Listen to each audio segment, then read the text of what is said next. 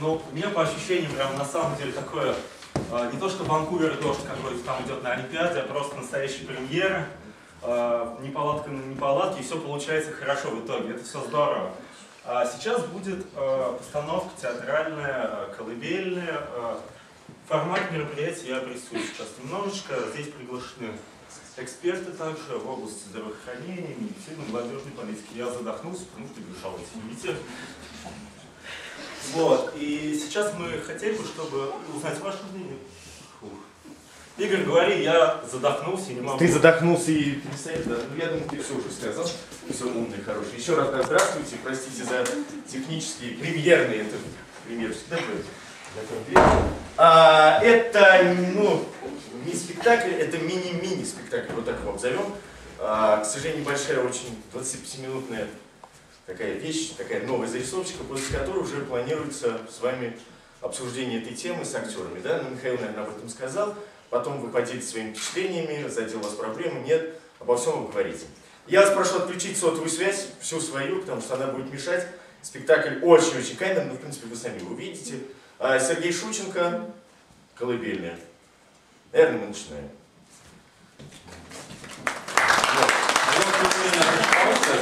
Спасибо. И просто про, после спектакля просьба а, всех вас спуститься в буфет, пообщаться с актером, потому что мы очень интересно мнение, потому что это премьерный показ. А мы здесь останемся с экспертами и устроим небольшой фокус-группу. Спасибо вам. Не могу смотреть.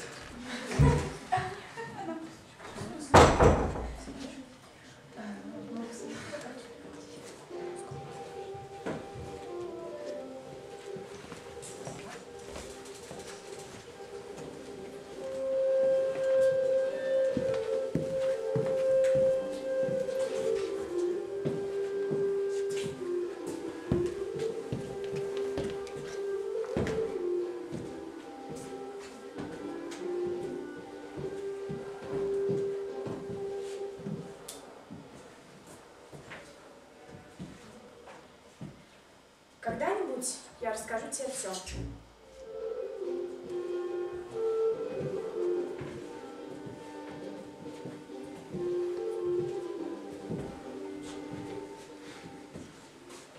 Теперь я понимаю, почему день рождения называют грустным праздником.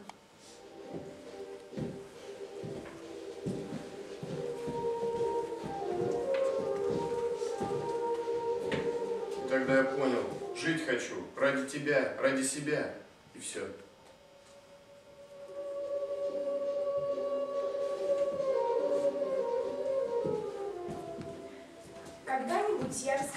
Все.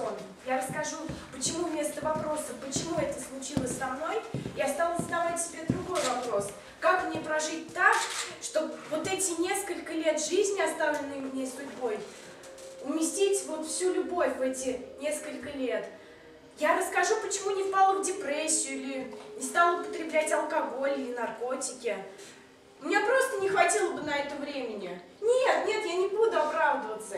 Я наоборот всему благодарна. Я научилась замечать приятные мне вещи. Пение птиц, смех ребенка, журчание воды в ручье и радоваться этому.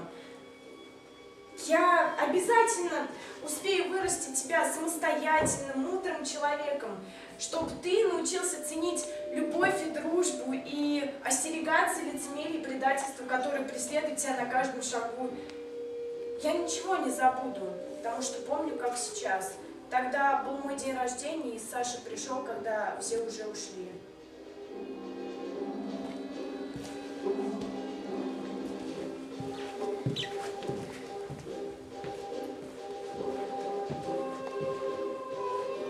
Прощайте, гости дорогие. Приходите еще.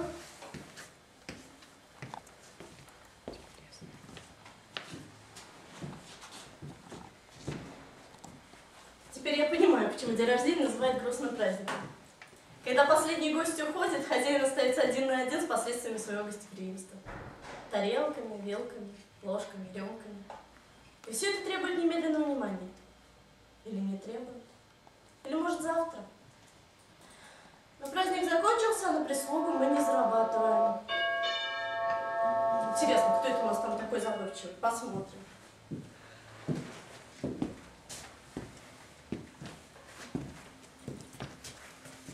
Сашка, привет. Ты где пропадал-то? Присаживайся. Смотрю, празднуешь, сестричка. Как у тебя дела? Ну вот, празднуем.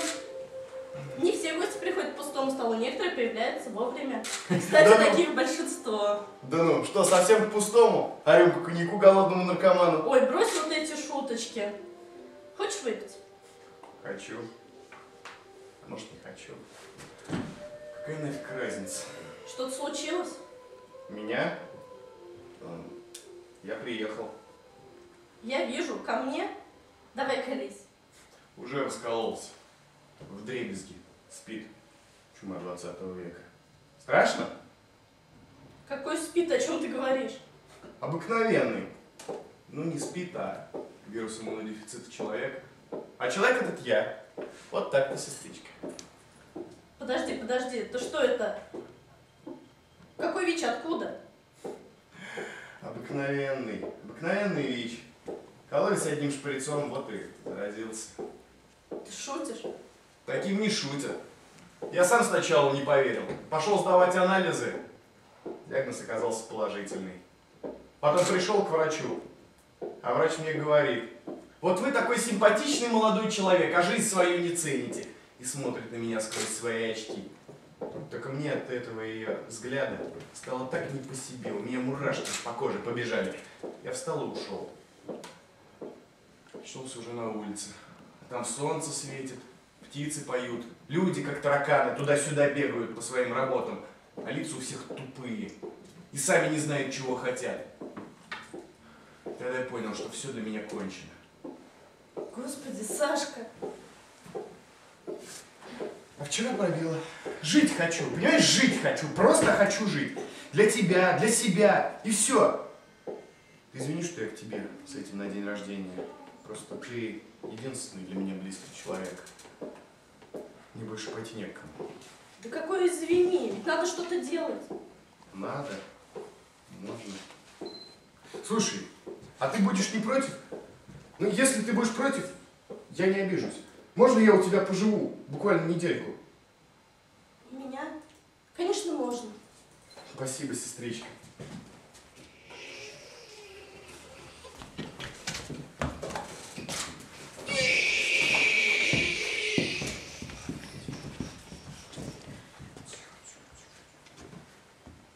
Я, я не могла в это поверить.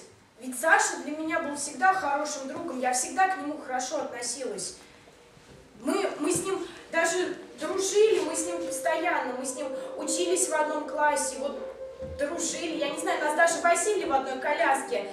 Я была чуть постарше, а он был грудничком. Вот.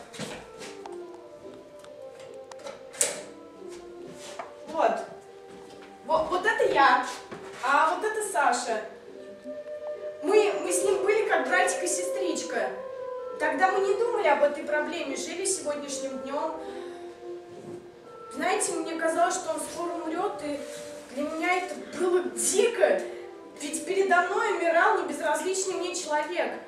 Я, и, конечно, я оставила у себя, я сказала, поживи, а дальше будет видно. Через некоторое время я уехала выходить замуж в Германию.